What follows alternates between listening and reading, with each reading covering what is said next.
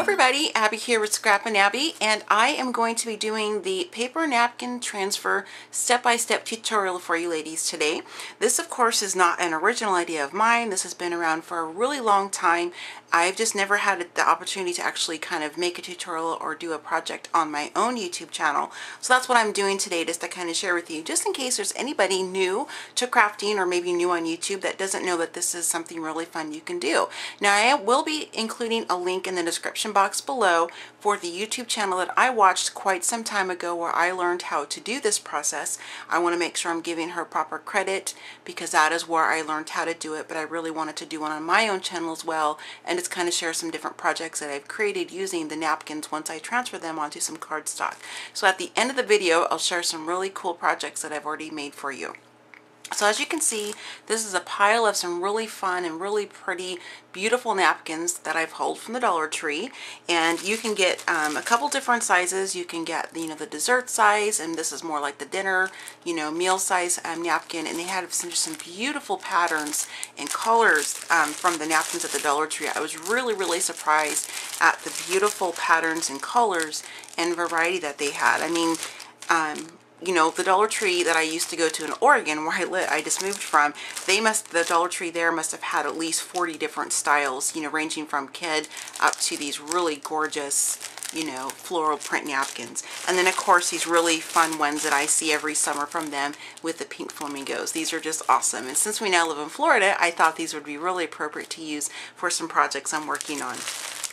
So I'm going to go ahead and share with you really quickly a couple of the different napkins that I've already transferred and then we'll get right to the tutorial and share with you what items you'll need to do this. Really, really super simple.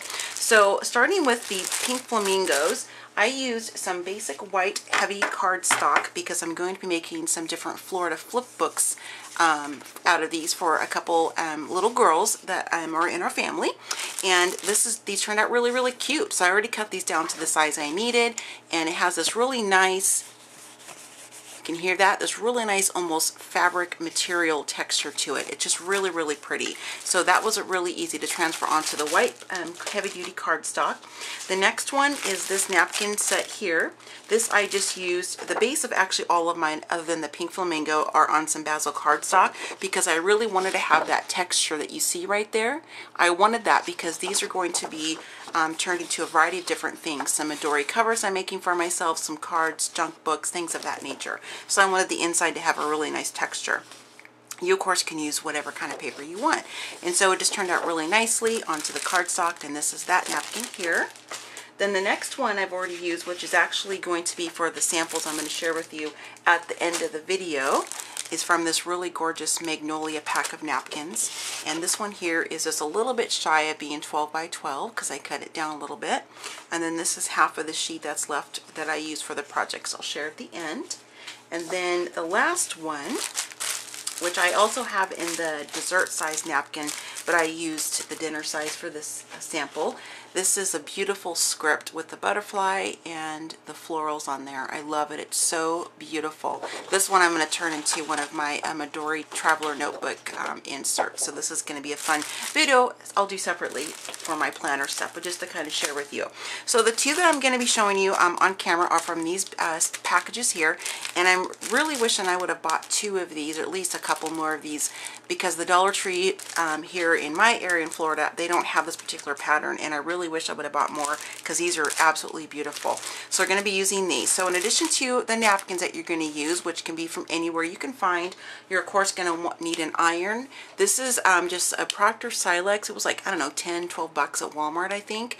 This is just, I use this strictly for crafting. So if you have an iron that you use and you only have one and you use it to actually iron your clothes, you're going to want to make sure that you're being very careful to not get the plastic on your iron or else it'll get on there and, and not you don't want to use it on your clothes after that. And then of course you're going to need some plastic wrap. This is going to be acting as the medium to transfer the napkin to the cardstock. This is just some cheap plastic wrap that I got from the Dollar Tree. And then, of course, you're going to need your work surface. You can either use, um, like my table is a wood um, farm table, and you can use an ironing board if you want. You can also use let me show you this other sample I have here. I do have just like a cutting board that I got from Goodwill. I use it for obviously other crafting reasons. I used that for the first part and then I really wanted to try it on my craft table with some other, um, to kind of get, I needed a little bit bigger surface than my cutting board was. So what I'm using is just this purple towel that I got from the Dollar Tree. I'm just going to lay this down onto my craft table. If you have like a, you know, plastic table or, you know, something or more delicate table and you don't want the heat to kind of go through, you don't want to really, you're probably going to want to put a different kind of a buffer down, you know, using a cutting board or more, you know, thicker towels.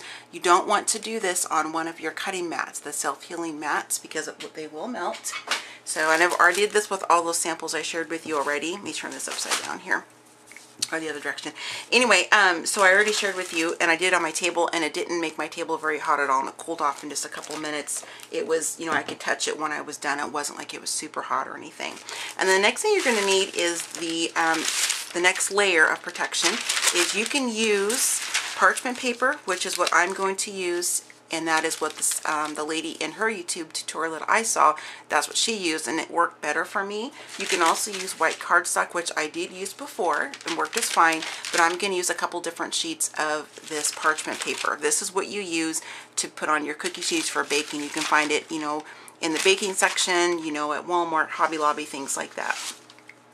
And of course you're going to want your paper that you're going to be putting your napkins on. Now I've already cut my cardstock down to the appropriate size I need for my projects. These are also going to be some more of that Bazzill cardstock as you can see because it's got that really nice linen texture and I want that for the inside of this project. So I'm going to go ahead and um, just kind of show with you on this first one here. I went ahead and already cut my napkin down to the half size I need for this project. Of course you can leave it the full size if you want to do a full sheet like I did earlier. And it's really important that you take this uh, backing off. Most napkins have at least a one ply, some most of them have two, and some of your more plush ones have a three ply. So you want to just kind of carefully pull this off the back of your napkin. I keep these because these are great to use as texture on another project for like on canvas or something like that. So I kept all of mine in a pile from the prior samples I shared with you right here. So I'm going to keep those and I'll share those in a different video. And then of course, um, let's go ahead and get this one over here. We'll do this one first. So I'm going to make sure because I wanted to make, um, I wanted the texture paper, I'm going to make sure that that is on face down because I want the napkin to go on the smooth side as far as the print. And then I'm just going to lay this over. Now, of course, this napkin is a little bit larger than my cardstock that I have, which is totally fine. That's what I want because I can cut around it. That way I make sure that I have the whole piece of the cardstock covered. And then I'm going to kind of lay this over a little bit overlapping because I don't want, let me show you real close here. You see that little white edge right down there? That's just from, you know, the end, end of the napkin when it was being printed. I want that to hang off because I want the bottom of the card to be the actual, you know, have some color. So I'm going to lay that down like that. But then we're going to put the plastic wrap down first. I apologize. I'm getting ahead of myself here. So I'm just going to tear a sheet off we use the Costco wrap for our inner kitchen, and I have to tell you, this cheaper stuff, it really is a lot more difficult to kind of cut, I feel, because it's so thin.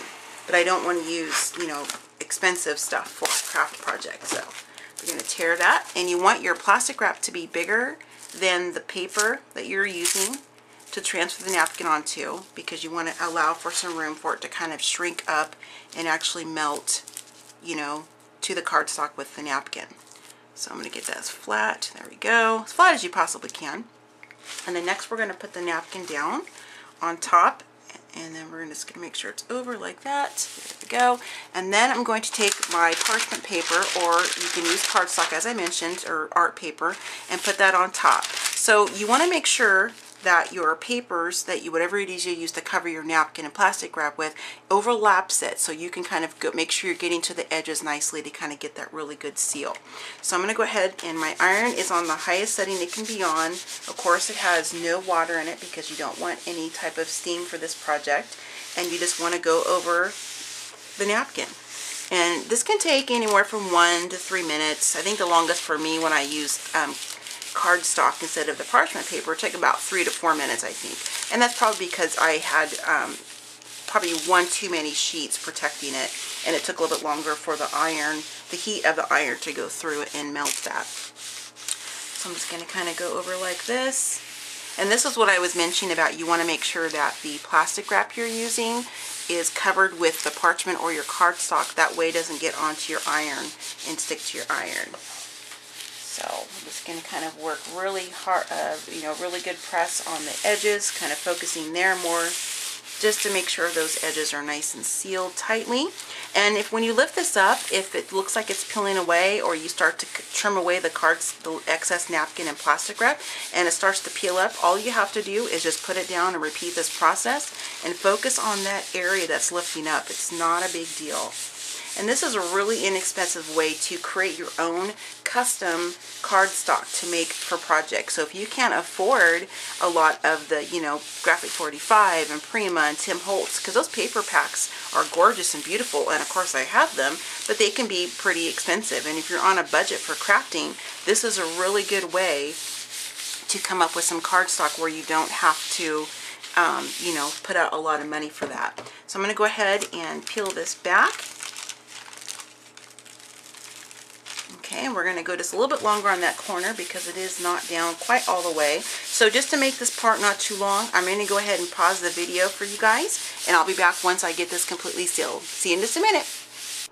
Okay ladies, I'm back and yes, you're seeing a different napkin than whenever I was in the last clip. So what I did is I went ahead and pulled that one off and I thought I just to kind of save time on the video, I went ahead and repeated the same process for the second napkin that I was going to share with you. So this is what it looks like once you pull the paper off and I'll do it again here on camera for you. And then you're kind of left with this excess that you just simply trim away and I'll do that for you here really quickly. And then, um, you know, then you're left with your napkin covered cardstock that you can use for whatever project you can think of. I mean, you know, the possibilities are endless with this.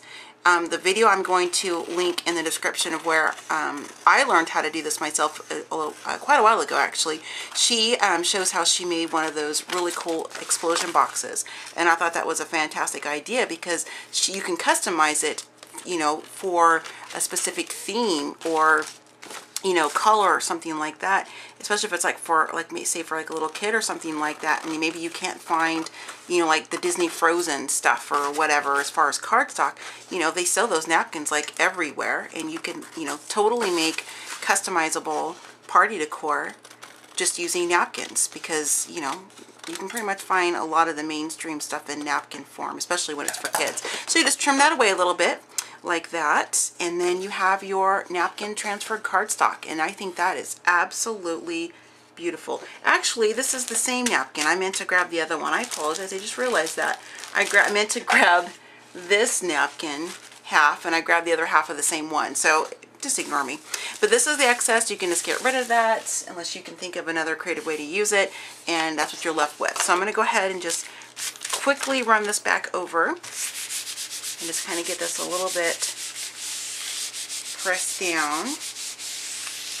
It actually works out good that I, I did that, use this twice, because that's just one less one I have to make now for this project that I'm working on next. Which will be a video, of course, for you ladies, so make sure you check back for that. Alright, and so now we're just going to set the iron off to the side, and then I'm just going to peel back, make sure I'm in frame here, and then I'm gonna, you can see that it's transferred onto the cardstock. And then I, you know, I've reused this probably, these sheets probably 20 times, so they're perfectly fine to keep reusing reusing. And then you're just going to carefully pick up on to the excess part of the napkin and you're going to see that the cardstock is indeed adhered, you know, to the napkin. Let's pull this out of the way. And then again, I'll just cut this on camera real quick just to show you how you can cut this as soon as you are done with transfer. So this is really fun and I, I'm really disappointed in myself that I waited so long to actually do this project. So, because it's so fun, because I just have so many more additional ideas. I feel like my brain is already overflowed with so many different crafting ideas and tutorials and projects and things like that. But this just brings it to a whole other level because you're really customizing your own cardstock material and base for your project. So just a lot of fun. Just another fun way to create your own base for your projects, especially for this whole theming for like a birthday party or something of that nature. So there you go. And then there's the scraps again. And then there is your cardstock. It's just really, really simple and pretty. I really like that. So we're going to go ahead and clear this away and I'm going to share with you the projects that I made with the napkins earlier. So this is an altered, and I'm going to kind of zoom in just a little bit. Oops, wrong way, Abby going to zoom just a little bit here. So this is an altered box and I do will have a video separate on my YouTube channel specifically for this project, but I wanted to share with you quickly in this, uh, this video. This is the back of the box. I altered the front and I used that napkin and this is the one, and again I'll show you which one it was. It's that beautiful Magnolia napkin that I transferred on. Ah, here it is. So this is the napkin. As you can see it matches and then this I transferred onto the cardstock and then I just distressed it. So this was really cool because I really wanted to test it out. How does it work when you tear your cardstock, when you, the napkin transfer cardstock, when you distress it, when you put sprays on it? Is, is the napkin going to lift and peel off of the cardstock? It did none of that. You can see that it didn't peel or bubble up at all. I even used different sprays and some distress paints and I used, um, you know, my Prima edging distress tool on this and it just held up really well and it works just perfectly as regular cardstock that you would buy. So just to show you, show you some additional projects that you can make with it, I'll pull these out and share with you. These are, this is like a little gift tag that I use with that same paper line and I just tore across the top and this is another I wanted to test this as well and I love how this looks so distressed and tattery but it didn't peel off and start to come off completely when I tore it. I love that. So here's just a little quick gift tag you can make this is a little note card. And again, this is why I wanted that inside to have that texture because I just think that looks so nice on the inside. Just stamped, you know, quick sentiment. Made just a little quick note card that you can give to somebody. And then here is more of like, a, you know, an actual greeting card, a little bit bigger. Just added some different embellishments to it. And then, you know, dress it up on the inside. And you have your own awesome custom uh, cardstock that you've made for whatever purpose you want to use. Plus it has a really nice feel to it and I that to me is part of the crafting part. The visual, the, the textures, and the way it feels. I love that. And it gives a really nice fabricy feel to this. So I hope you ladies enjoyed my take on this iron, um, excuse me, napkin transfer iron tutorial. Please let me know if you have any questions below. Also comment below and let me know if you've used this technique before in the past and what you've made or if you want to link your video or to your blog or to your photos of projects that you've made using the, the different napkins that you can purchase. So I think it's just awesome that you can take a napkin from the Dollar Tree, plastic wrap, and an iron and create something like this. I just think it's awesome. So thanks everybody for watching. Happy scrapping, happy planning, and happy crafting, and I'll see you next time. Bye!